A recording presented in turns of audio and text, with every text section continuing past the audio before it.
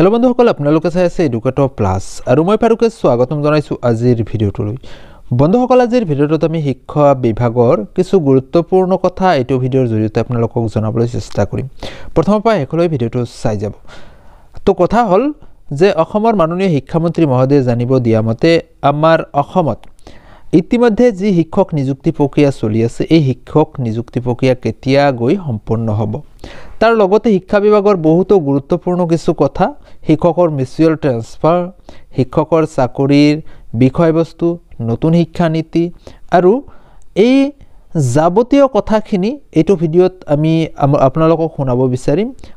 অসমৰ মাননীয় শিক্ষামন্ত্ৰী মহোদয়ে এক সাক্ষাৎকাৰ যোগে এই কথাখিনি কেনেদৰে প্ৰকাশ কৰিলে আপোনালোকক জনাবলৈ চেষ্টা কৰিম। আহকচোন আমি শিক্ষামন্ত্ৰী মহোদয়ৰ মুখেৰে কথাখিনি শুনি লওঁ। প্ৰথম কথাটোৱে হ'ল যে নিযুক্তি। শিক্ষা বিভাগটোক আমি আমি শিক্ষাদানৰ উপৰিও অসমত তাক নিযুক্তি দিয়া বিভাগ হিচাপেও তাৰ যথেষ্ট গুৰুত্ব আছে। বৃহৎ সংখ্যক শিক্ষক কৰ্মচাৰী আছে। আমাৰো নিবনুৱাসকলে যথেষ্ট সংখ্যকে শিক্ষকৰ চাকৰি বাট চাই থাকে। আপোনালোকে ইতিমধ্যে তাৰ ভালেখিনি প্ৰক্ৰিয়া আৰম্ভ কৰিছে। কিন্তু মুঠতে কিমানমান নিযুক্তি আপোনালোকেতো এক লাখ নিযুক্তিৰ ভিতৰত আপোনালোকৰ সংখ্যাটো থাকিব। কিন্তু সামগ্ৰিকভাৱে বহু খালী পদ আছে। প্ৰতি বছৰে এইবাৰ মই দেখিছোঁ একত্ৰিছ মাৰ্চত মোক পৰিসংখ্যা কৈছিল কাহিলীপাৰাত মই সোধোতে যে এইবাৰ একত্ৰিছ মাৰ্চত বহু স্কুলত দুজন যদি আছিল এজনে ৰিটায়াৰ কৰিছে এনেকুৱা পৰিস্থিতি হৈছে। কিমান মান আহিব পাৰে বাৰু এবাৰ মুঠতে বিশ হাজাৰৰ ওপৰত হ'ব আৰু লগে লগে একেটা সময়তে নতুন বহু বিশ হাজাৰ এই এক লাখৰ চৰকাৰী প্ৰতিশ্ৰুতিৰ মাজত সোমাই আছে। কিমান মানত শেষ হ'ব এই সোমাই আছে। এই গোটেইখিনি নিযুক্তি আমাৰ হৈ যাব আৰু তাৰ লগে লগে নতুন পদ এখিনিও সৃষ্টি হ'ব। কাৰণ পুৰণা যি আমাৰ এভাৰেজ ছহেজাৰমান চাকৰি প্ৰতি বছৰে ওলাব লাগে ডিউ টু ৰিটায়াৰমেণ্ট ৰিটায়াৰমেণ্ট সেইখিনিৰ উপৰিও বহু শিক্ষকে তেওঁলোকে এল পিত আছিলে এতিয়া ইউ পিত গুচি যাব ইউ পিত আছিলে তেওঁলোক। মানে হাইস্কুলত গুচি যাব বা পষ্ট গ্ৰেজুৱেট টিচাৰ হিচাপে গুচি যাব। সেই পদবিলাকো খালী হ'ব। গতিকে এইটো এটা কণ্টিনিউৱাছ প্ৰচেছ আৰু যিটো এতিয়া আৰম্ভ কৰিলোঁ এই বছৰে আমি আৰম্ভ কৰিলোঁ এতিয়া এই বছৰ যদি এইখিনি নিযুক্তি দি দিব পাৰোঁ অহা বছৰ যদি আৰু খালী হোৱা ছহেজাৰ নিযুক্তি তেতিয়াহ'লে আমি ভাবোঁ যে ই যথেষ্ট আমাৰ যিসকল শিক্ষিত কোৱালিফাইড ব্যক্তি আছে যিসকলে শিক্ষকতা কৰিব বিচাৰে তেওঁলোকৰ কাৰণে এইটো এটা ভাল সুযোগ হ'ব। মানে সাজু হ'ব পাৰে আৰু যি শিক্ষকতা কৰিব বিচাৰিছে। এই সময়ছোৱাত এতিয়া আপোনালোকে নিযুক্তি প্ৰক্ৰিয়া নিশ্চিতভাৱে আগবঢ়াই লৈ যাব। নতুন শিক্ষানীতি বিশেষকৈ শিক্ষানীতিৰ বলবৎকৰণৰ লগে লগে স্থায়ী শিক্ষক নিয়মীয়া শিক্ষকৰ কথা বিশেষভাৱে কোৱা হৈছে।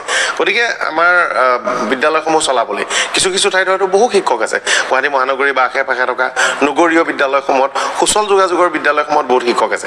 এতিয়াও কিন্তু ভিতৰুৱা কিছু এলেকাত শিক্ষক কম।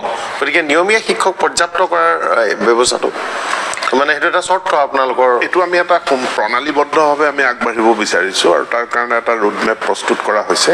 এতিয়া শিক্ষকৰ বদলীকৰণৰ কাৰণে আমাৰ এটা পৰ্টেল আমি মুকলি কৰিলোঁ।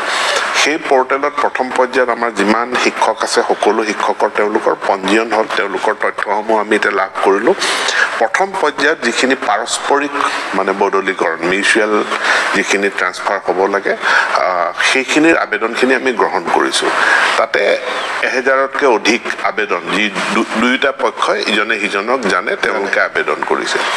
তাৰ উপৰিও প্ৰায় চাৰি হাজাৰৰ ওপৰত শিক্ষকে আবেদন কৰিছে যে আমি মিউচুৱেল ট্ৰান্সফাৰ বিচাৰোঁ কিন্তু তেওঁলোকে পাৰ্টনাৰজন বিচাৰি পোৱা নাই। কিন্তু পৰ্টেলটোত এতিয়া তেওঁলোক ৰেজিষ্ট্ৰেশ্যন হোৱাৰ পাছত বেলেগ আকৌ যিসকলে বদলি বিচাৰে।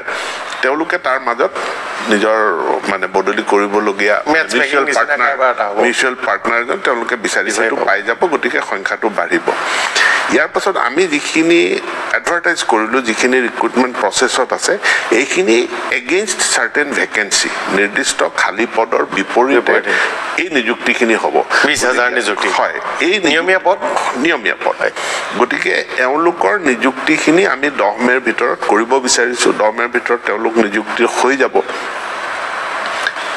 এই নিযুক্তিৰ পাছত আমি আৰম্ভ কৰিম ৰেচনেলাইজেশ্যন য'ত মানে কম ছাত্ৰ ছাত্ৰী অধিক সংখ্যক শিক্ষক আছে য'ত ছাত্ৰ ছাত্ৰী বেছি শিক্ষকৰ সংখ্যা কম। এই ৰেচনেলাইজেশ্যনটো আমি কৰিম। আৰু সেই ৰেচনেলাইজেশ্যনৰ লগতে যে বিশেষভাৱে কিছুমান শিক্ষক শিক্ষয়িত্ৰী আছে যে তেওঁলোকৰ বদলীকৰণটো প্ৰয়োজনীয় হৈছে। বিভিন্ন কাৰণত। কোনোবা শাৰীৰিকভাৱে বিশেষভাৱে সক্ষম ব্যক্তি কোনোবা মহিলা খুব দূৰ অঞ্চলত আছে আমি সহানুভূতিৰে সেই কথাবিলাক অসুস্থ, এনেকুৱাখিনিও তাৰ ভিতৰত অন্তৰ্ভুক্ত কৰি আমি ৰেচনেলাইজেশ্যনৰ প্ৰক্ৰিয়াটো সম্পূৰ্ণ কৰিম। কিন্তু এতিয়া সেই বদলিৰ ব্যৱস্থাটোত দুৰাৰোগ্য ৰোগ বা ইত্যাদি ধৰণৰ কথাৰ কাৰণে বিশেষ বিবেচনা দহ মেৰ পাছত কৰিম কৰিব তেওঁলোকৰ নিশ্চিত কাৰণ দুই চাৰিটা আমি এনেকুৱা শুনিছোঁ যে তেওঁলোকে কৈছে যে আমাৰ হয়তো মিউচুৱেল আমি ট্ৰান্সফাৰ কৰিব পৰা নাই কিন্তু আমাক বদলি লাগে হয়তো কাৰো কাৰোবাৰ যুক্তিসংগত বিষয় থাকিব। এতিয়া আমাৰ কাৰণে প্ৰত্যাহ্বান হ'ব যে আপোনালোকে আমাৰ স্কুলসমূহ সংমিশ্ৰণ কৰিব কলেজৰ পৰা দুটা শ্ৰেণীয়ে কাটি আনিব বা হাইস্কুলৰ লগত সংলগ্ন কৰিব। কিছু স্কুল বন্ধ কৰিব বুলিও আপুনি কৈ আছে। মানে আপোনালোকে প্ৰতিবেদন দিছে আৰু এটা সংখ্যা য'ত ছাত্ৰ ছাত্ৰী নাই বা কম। সেই আহ, কিমান মান হ'ব? প্ৰায় চাৰি হাজাৰতকৈ চাৰি হাজাৰ স্পৰ্শ নকৰিব তাতকে সংখ্যাটো কম। তিনি হাজাৰ ওচৰে। কিন্তু এইটো ওচৰা ওচৰিকৈ থকা দুখন স্কুল আমি একেলগ কৰি। একেলগ কৰি। একেলগ কৰি পেলাইছো। বাস্তৱ চিত্ৰখন এনেকুৱা আমি এইটো মানুহে কেতিয়াবা উলিয়াই দিয়ে যে স্কুল ইমানখিনি স্কুল বন্ধ কৰিব ওলাইছে। বহু ঠাইত এইবিলাক স্কুল প্ৰতিষ্ঠা হ'ল কেনেধৰণে কি হ'ল ইতিহাসবিলাক আমি খুচৰিব নাযাওঁ। কিন্তু ৰাস্তাৰ সিপাৰেও এখন প্ৰাথমিক বিদ্যালয় এইপাৰেও এখন প্ৰাথমিক বিদ্যালয়। ছাত্ৰ ছাত্ৰীৰ সংখ্যা ভগাই ল'ব লগা হৈছে দুইখনতে কম। গতিকে এখন